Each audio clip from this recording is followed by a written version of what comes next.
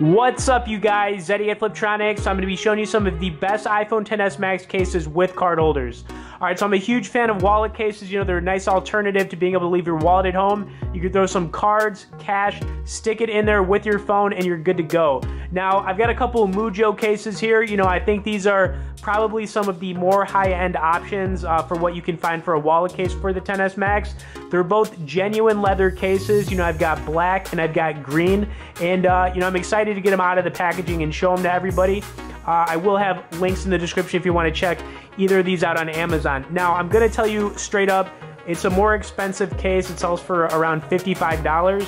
Uh, the thing about going with genuine leather cases, I'm going to tell you right now, you know, they tend to last a long time.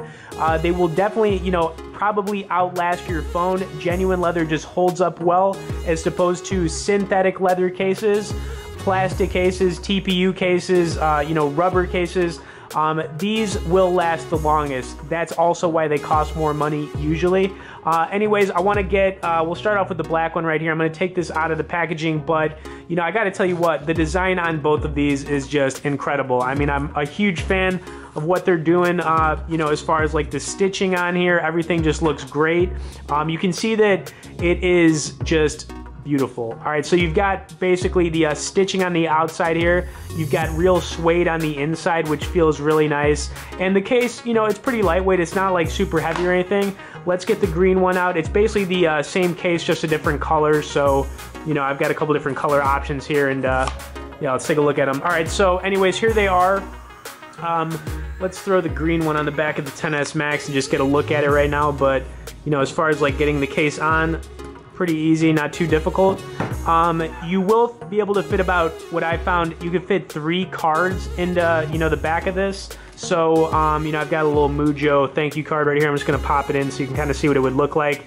But I found three to be pretty good, so you can get three in there. You can even throw some cash in it with it, uh, which is cool but let me just hold the, both these up to the camera so I mean you could really see the design on these. Now you can tell that they're genuine leather just rubbing your hands on it. I mean it feels you know really good.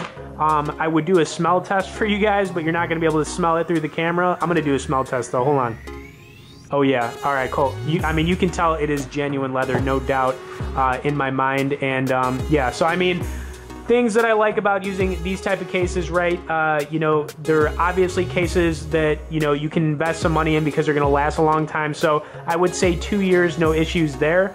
Uh, as far as protection, pretty good job of it. I mean, wouldn't be dropping your phone higher than like six feet with one of these on, but uh, it's more about style and being able to take, you know, cards and cash with you, you know, whether you're going out on the weekend, uh, obviously, you could use one of these for work too. So I mean, you could you could take one with you at work.